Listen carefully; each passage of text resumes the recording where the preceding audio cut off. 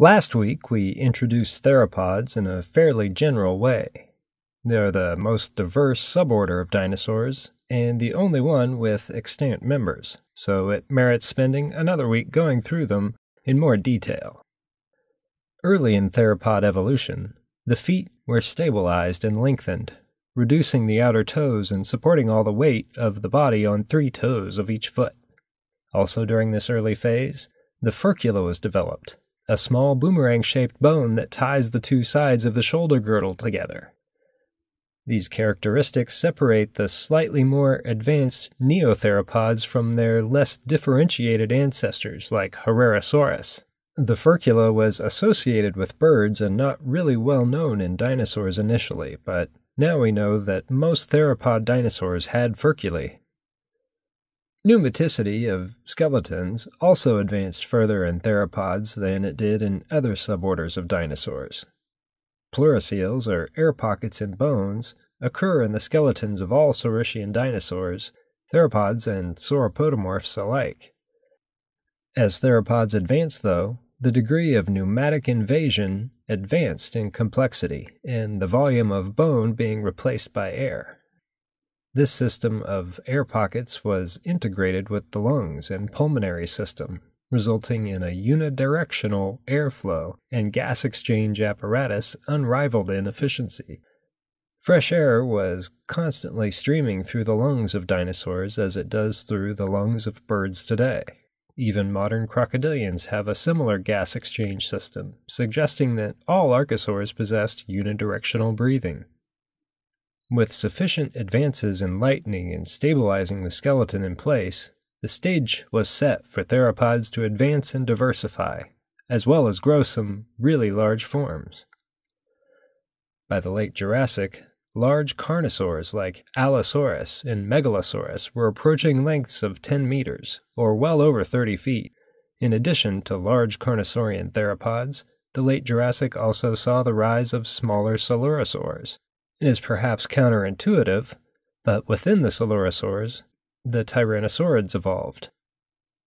When they first appear in the fossil record, tyrannosaurids are relatively small, as was typical for coelurosaurs. By the middle of the Cretaceous, though, we see carnosaurs disappear in North America and Asia, and the large predator niche begins being filled by tyrannosauroids.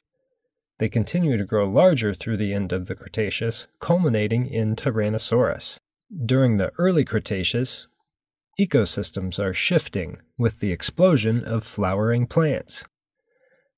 Theropods also begin to take advantage of this new source of nutrition, evolving herbivorous forms to compete with the other suborders of dinosaurs, instead of just eating them.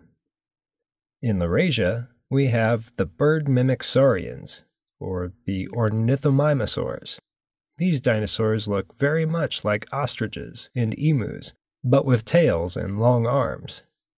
They probably lived very similarly to these ratite birds as well, with similarly herbivorous to omnivorous diets. Ornithomimosaurs are the only herbivorous group of theropods that are not members of the Maniraptora, which is a slightly more exclusive group of theropods denoted by the presence of a semilunate wrist bone, or carpal. Also limited to Laurasia in their distribution, like ornithomimosaurs, was a radiation of herbivorous dinosaurs that were very sloth like in appearance due to their long arms and enormous hand claws, the therizinosaurs, and another group also with long arms, but with crests running from their rostrum to the top of their heads called oviraptorids. You may have heard the story of how Oviraptor got a name meaning egg thief, you might recall the expedition led by Roy Chapman Andrews that found the first dinosaur nests. The abundance of nests and another dinosaur, Protoceratops, made it seem to the expedition that the abundant nests and dinosaurs went together, meaning all of the nests they were seeing must have Protoceratops eggs in them. They therefore assumed that the Oviraptor fossils they were finding in close proximity to some nests belonged to a dinosaur that specialized in stealing and eating the eggs of these other dinosaurs. Oviraptorids may or may not have eaten eggs, since it takes no special dentition to do so. Oviraptorids are toothless dinosaurs with short, broad, probably powerful beaks, Plant material of some sort seems to be their most likely diet, but they seem equipped to eat small prey and possibly shelled invertebrates as well. The most widely distributed, yet probably most rare group of herbivorous theropods is the Alvarezsaurids. They have been found in Europe, Asia, and North America, which would make sense for a Laurasian group of dinosaurs. However, they also appear in South America in the Middle Cretaceous, somehow having succeeded in a transcontinental transplantation around then. In addition to their biogeographical strangeness, they also have peculiarly short arms that end in a single, robustly clawed finger, and seem to have remained relatively small for dinosaurs, with the largest species only growing to a few feet in length. All of these herbivorous theropods we've been discussing probably had their bodies coated in a combination of primitive downy feathers and more advanced pennaceous feathers, giving them a bird like appearance. The next group of theropods we will discuss, the Paraves, adds very wing like appendages to their morphology, taking their bird like appearances to the next level. This clade includes birds and the most derived group of theropods, the Deinonychosaurs, which includes everything you've envisioned as a raptor, like Velociraptor and Deinonychus, as well as Troodontids. These theropods are distinguished by their retroverted pubes, meaning the hip bones that usually point down and forward point more backward, more closely paralleling the ischia as we see in modern bird hips. Deinonychosaurs also have the famous retractable claw on the second toe of each foot, which would have given them a lethal death grip with their feet and allowed them to climb vertical surfaces, just grasping with their feet, including the flanks of larger prey animals. Some Paravians, like the Deinonychosaur Microraptor and the troodontid Anchiornis, even had long, stiff flight feathers on their legs, I can only imagine how dangerous early Cretaceous forests might have been with branches full of pack hunting, four winged theropods waiting to ambush and slice to pieces anything that walked beneath. The next theropod node, on the way toward birds, includes all of the things that have probably been described colloquially as fossil birds rather than fossil dinosaurs. The Avialae have been defined as including Archaeopteryx, sparrows, and everything in between. It seems interesting that the first known fossil bird, Archaeopteryx, represented initially by a single isolated feather more than 150 years later still represents the evolutionary threshold between what we consider to be advanced enough to be more bird than dinosaur. This one fossil species, represented by a dozen or so individual specimens, has been probably more closely scrutinized over the past century and a half than any other. This is probably because for so long it has seemed to represent the link between birds and their reptilian ancestors. Initially, it seemed obvious to proponents of evolutionary theory, which was proposed around the same time that Archaeopteryx was discovered, and just a couple of decades after the word dinosaur was coined, that Archaeopteryx was something between modern birds and dinosaurs. There were some technical details that made this link difficult to be certain of, though. Paleontologists knew that modern birds were warm blooded, but incorrectly assumed that dinosaurs, as large reptiles, were not.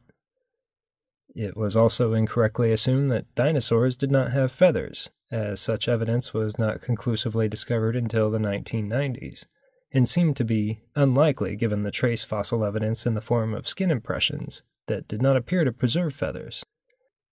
Modern birds also lack fingers or claws, save for one primitive bird known as the hoatzin, which hatches with a couple of hand claws used for climbing, but sheds its claws as it matures.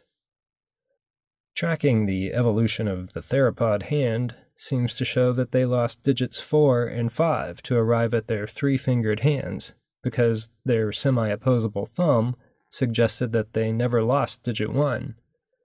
It turns out that theropods did reduce and lose digit 1 on the hand after all, and that digit 2 took on the appearance and functionality of digit 1 thanks to a frame shift in their developmental identities.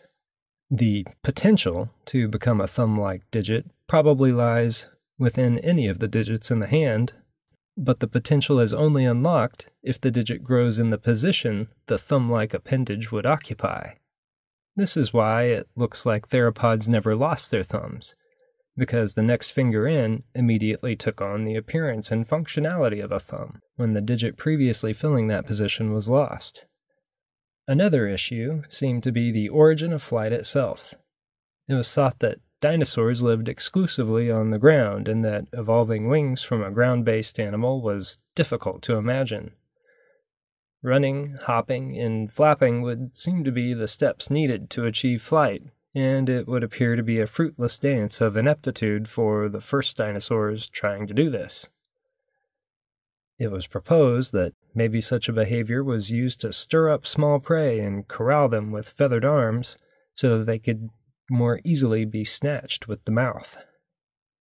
Such ideas went along with what is referred to as the cursorial hypothesis for the origin of avian flight.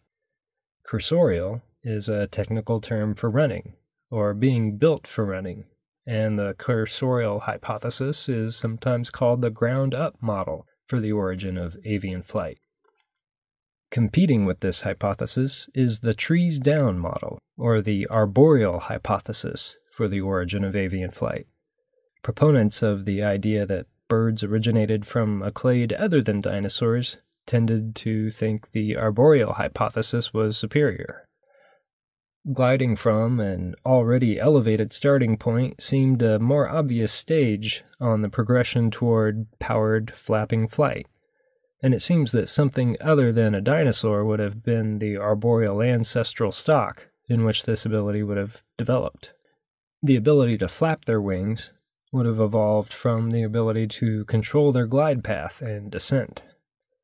One thing that had not been thought of was running up trees in order to get to those branches high enough to where gliding would be possible. The diversity of tiny theropods in the Cretaceous was also previously unimagined Yet now fossil discoveries have been piling up since the turn of the millennium from fine grained shales that sometimes preserve in exquisite detail soft tissues. Soft tissues including plumage articulated to these small, advanced theropod dinosaurs, including a number of Mesozoic bird clades. Many of the derived features of Mesozoic birds are flight related. One of the first things they did that made flight easier to achieve and simultaneously made them look much more like birds and less like dinosaurs, was to ditch the tail. Primitively useful as a rudder, tails soon became more of a drag, literally in the aerodynamic sense, as well as an unnecessary weight, once the wings of the arms were sufficiently adapted to control flight without the long, heavy tail. With the tail bones reduced to the stubby vestigial remnants of a tail called a pygostyle, tail feathers could anchor more robustly and provide all the stabilization needed in a lighter, more flight capable animal. Two major branches of birds sported this shortened tail the Ornithuromorpha, which translates to bird tail shape, and a group known as the opposite birds, or Enantiornithes. Modern birds evolved from the former, while the latter, Enantiornithes, were an evolutionary dead end. Though they all went extinct when dinosaurs did at the end of the Cretaceous, it was enantiornithine birds that dominated the diversity of Mesozoic birds. These birds seem to have evolved sufficient flight capabilities, but did not really press the envelope when it came to making sacrifices to make flight more efficient. They retained belly ribs or gastralia, they maintained flexibility in their axial skeletons rather than further reducing the number of vertebrae in their backs, like modern birds did. Many of the things that happened in the ancestry of modern birds to further reduce weight and make the skeleton more rigid to maximize flight efficiency simply did not happen at any point in enantiornithine evolution. In the Mesozoic, ornithuran birds seem to have kept to the seasides this was perhaps one environment in which they realized an advantage in their reliable and efficient flight mechanics. There are not many places to stop and rest when flying over oceans. There are also not many trees to climb and take off from, so being able to launch from ground level and maintain flight without overusing energy made seaside regions more favorable to ornithuran birds. In North America, we have some of the best examples of Mesozoic ornithuran birds.